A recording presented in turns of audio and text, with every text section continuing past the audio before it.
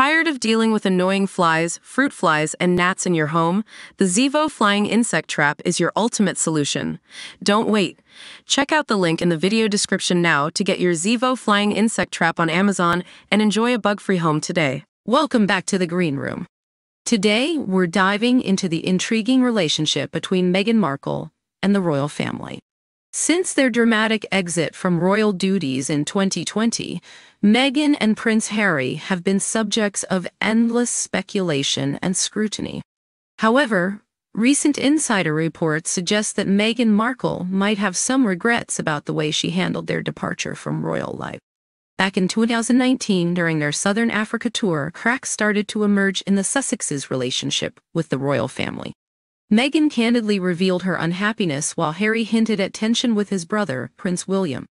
Fast forward to today, and sources close to Meghan indicate that she now does regret aspects of that tumultuous exit, especially certain statements made during that time. Insiders revealed that Meghan does regret certain statements that she made amid the chaos surrounding their withdrawal from royal responsibilities, and that some of her remarks didn't land as she intended leading to unforeseen consequences. In particular, it seems Meghan wished the focus of her televised interview with Oprah Winfrey was solely on her mental health issues, but she feels some of her later comments, especially during her sit down with the cut in 2022, provided ammunition for her critics.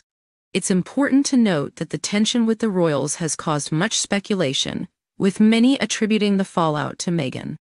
However, both she and Harry made the decision to step back together, seeking a more private life in their new home in Montecito, California.